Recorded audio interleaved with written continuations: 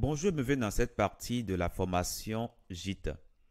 Dans cette partie, on ira un peu plus loin sur la manipulation des fichiers.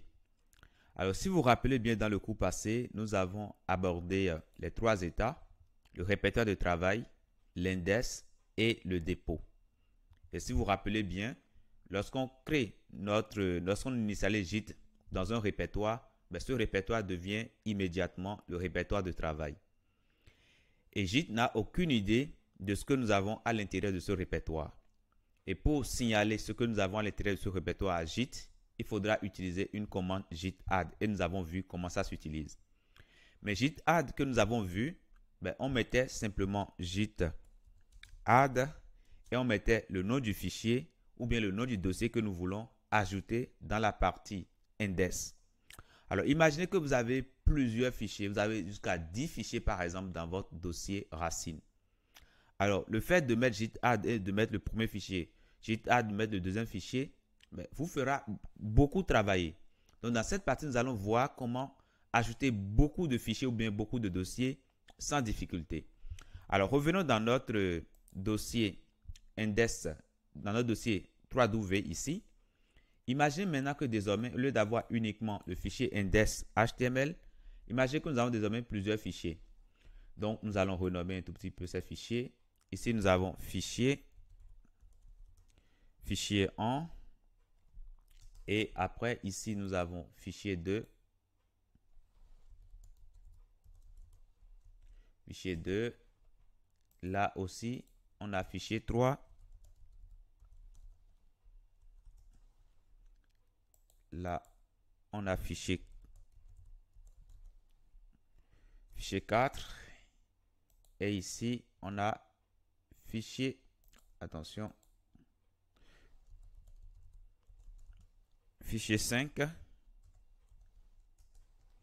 Et pour finir, ici, nous avons fichier 6. Voilà. Je suppose que nous avons plusieurs fichiers comme ça dans notre répertoire racine 3W. Et imaginez que nous voulons tout envoyer d'un coup dans notre partie index. Alors, si vous voulez déjà, nous allons faire un JIT statut pour voir déjà le statut de JIT status. Et qu'est-ce qu'on voit? On voit que ben, nous avons désormais trois fichiers, mais qui ne sont pas suivis. Vous voyez, un tracked file. Donc, nous avons euh, six fichiers, pardon, qui ne sont pas suivis. Maintenant, si nous voulons tout envoyer d'un coup à notre index, nous allons utiliser git add, git add, et au lieu de mettre le nom du fichier, ben, comme nous voulons tout envoyer, ben, nous pouvons tout simplement mettre ici étoile comme ça. Et de ce fait, ben, ça va prendre tout ce que nous avons dans notre répertoire et ça va l'envoyer directement dans notre, dans notre index, y compris même euh, ces fichiers qui sont dedans, y compris même les autres fichiers. Alors, on fait entrer et là, c'est bon. On peut faire Git status. Et qu'est-ce qu'on voit? Ben, On voit que ça, ça a pris le fichier fichier 1.html et ça l'a ajouté à index. Ça fait pareil pour fichier 2, fichier 3 jusqu'à fichier 6. Donc, git add étoile va nous permettre tout simplement d'ajouter tout ce que nous avons dans notre répertoire racine directement dans index.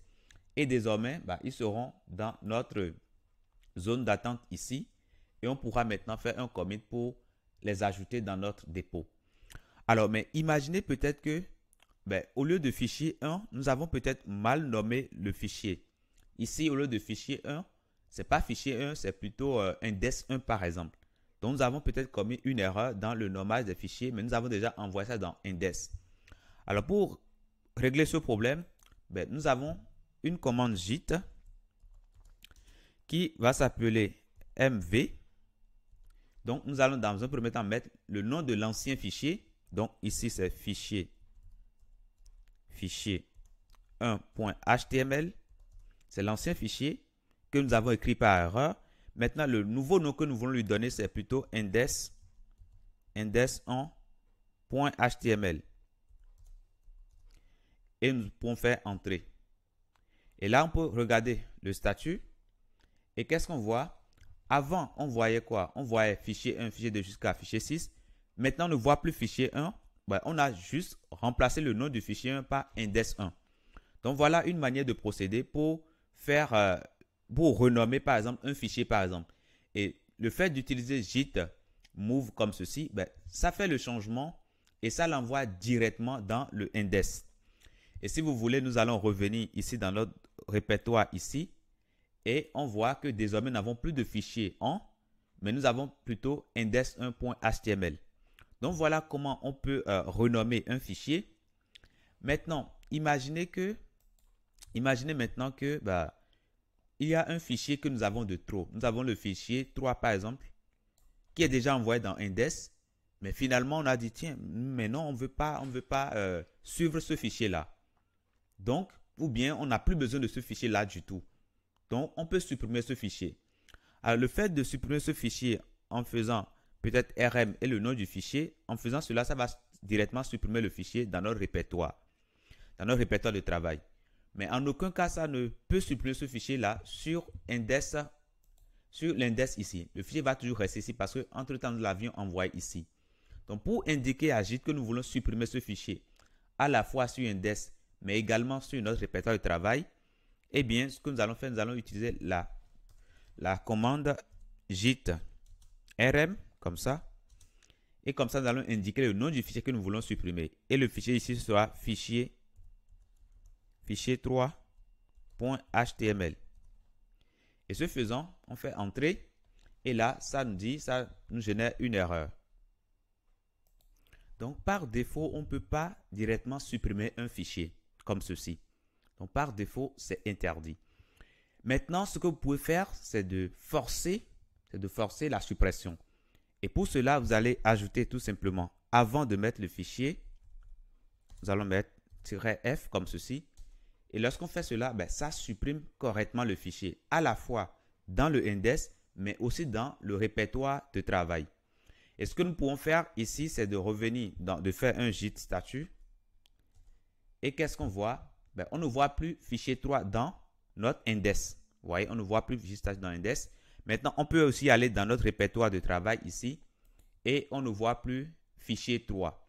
Donc voilà comment on supprime les fichiers. Peut-être qu'on a peut-être envoyé sur index euh, maladroitement, on peut les supprimer et comme ça, ben, le contenu de index sera mis à jour parce que notez que c'est ce que nous avons dans index que nous allons basculer sur dépôt. Donc il faut bien s'assurer que ce que nous avons sur index correspond bien à ce que nous voulons stocker dans notre dépôt. Et donc, c'est ici que vous avez fait toutes les manipulations. Vous allez envoyer. Si vous voyez que c'est, vous regardez le contenu, vous voyez que le contenu, il y a des éléments qui ne vous euh, euh, plaisent pas ou bien des contenus que vous avez ajoutés par erreur. Vous pouvez tout simplement les supprimer, tout simplement. Donc, voilà comment ça se fait. Maintenant, imaginez peut-être que vous ne voulez pas supprimer le, fichier. Le fichier est dans, dans Index, mais vous ne voulez pas supprimer, mais vous voulez tout simplement le cacher. C'est-à-dire, le fichier va toujours rester dans Index, mais lorsque vous allez l'envoyer dans le dépôt, ben, en fait, JIT va tenir compte du fait que vous avez caché le fichier dans index ici et ne va pas l'envoyer dans le dépôt. Alors, pour faire cela, nous allons revenir toujours dans notre, outil ici. Et ce que nous allons faire ici, ben, c'est très simple. Au lieu de dire que nous voulons tout simplement supprimer le fichier, nous allons dire maintenant que ben, nous allons cacher le fichier. Et maintenant, nous allons simplement cacher le fichier, fichier 2 ici. Donc, nous pouvons cacher cela. En mettant, après le RM, nous allons mettre 2-catchid. Catchid, comme ça. On fait entrer et là, c'est bon.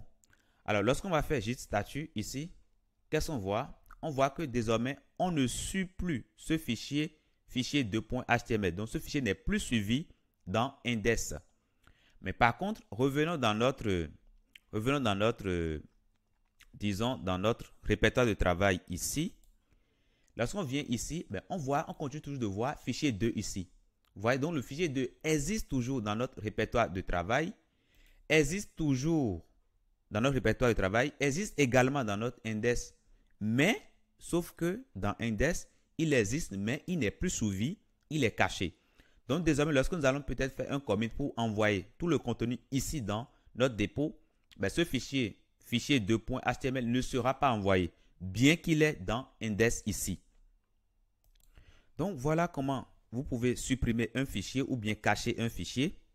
Donc, imaginez maintenant que vous avez votre dossier de développement ici Et euh, après votre développement, ben, il y a des dossiers forcément que vous n'avez pas envie d'envoyer sur, euh, euh, votre dépôt parce que c'est des dossiers que vous connaissez déjà, vous pouvez les régénérer très rapidement. Ou bien c'est des fichiers, c'est des dossiers qui sont très volumineux et vous ne voulez pas forcément les envoyer sur le dépôt.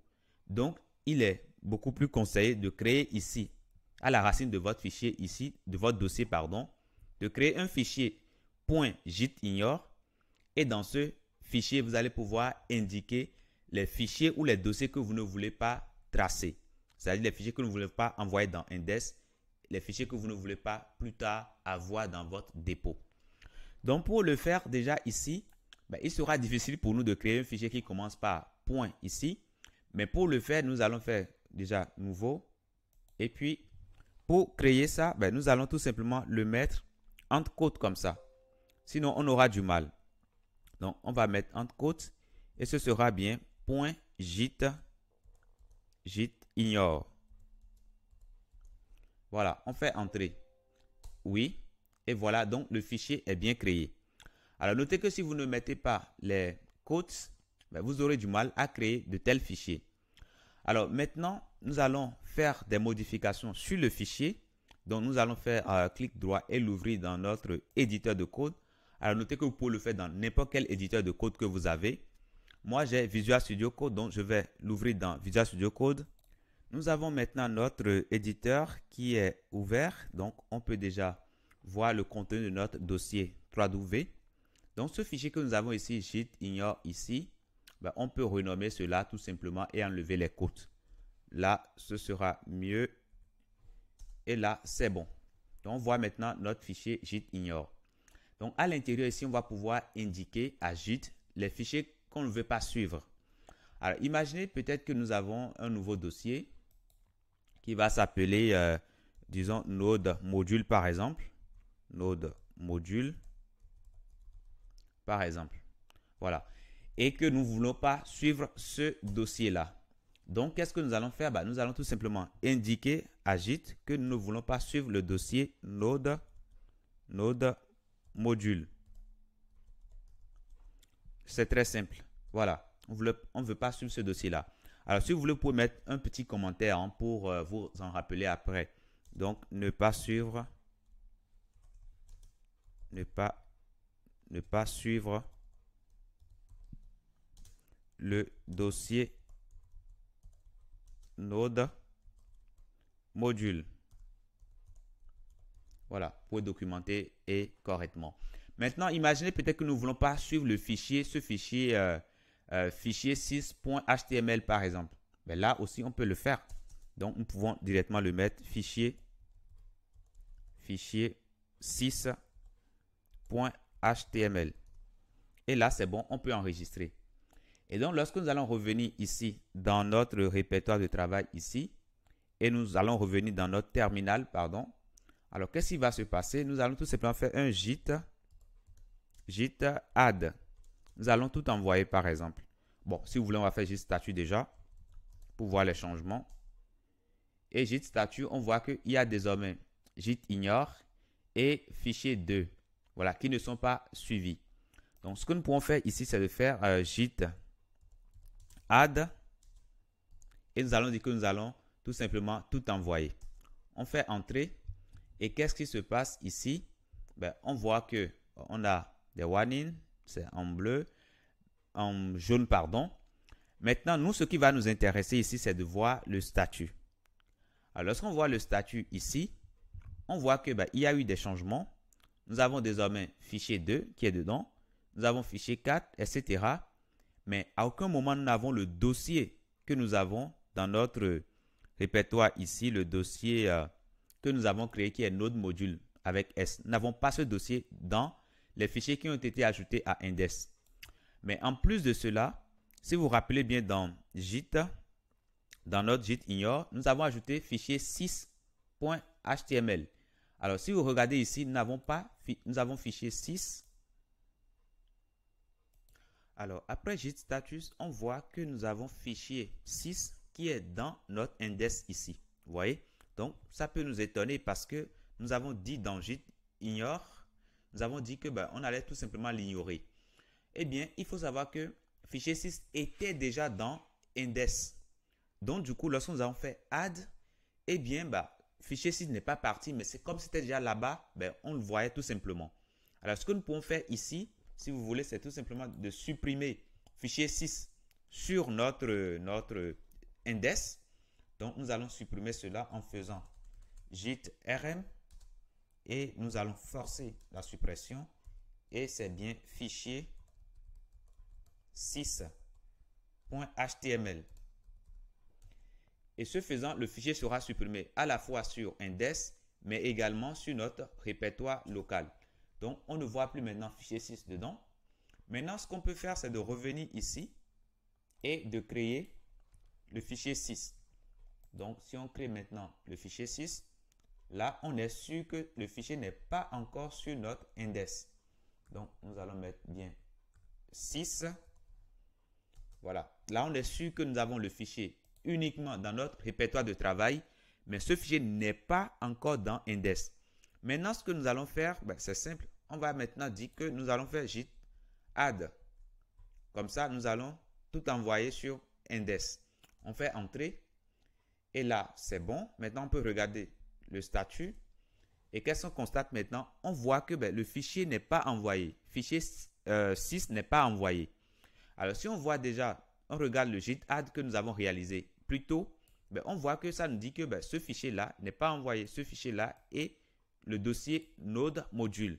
Et c'est bien le fichier et le dossier que nous avons spécifié dans notre git ignore ici. Nous avons dit que nous ne voulons pas de ce dossier, encore moins de ce fichier-là. Donc voilà un peu comment on peut préciser directement dans un fichier git ignore, ignore, les fichiers ou bien les dossiers qu'on ne veut pas suivre. Nous reviendrons encore beaucoup plus en détail après sur git ignore, mais une première approche de ce, de ce fichier, ben, ça va simplement nous permettre eh bien, d'empêcher que euh, les envois, c'est-à-dire les git add, prennent les dossiers que nous avons mis à l'intérieur. Donc, c'est beaucoup plus pratique, notamment lorsque nous avons peut-être des dossiers qui ne sont pas importants pour nous. Ben, on peut directement dire, ben, écoute, on ne veut pas les envoyer dans Index. Donc, dans aucun cas, ça ne sera envoyé dans Index. Donc, on est sûr de ne jamais les avoir dans notre dépôt ici. Donc, voilà ce que je tenais à vous dire dans cette partie. Je vous dis merci d'avoir suivi cette partie et à très bientôt dans la prochaine.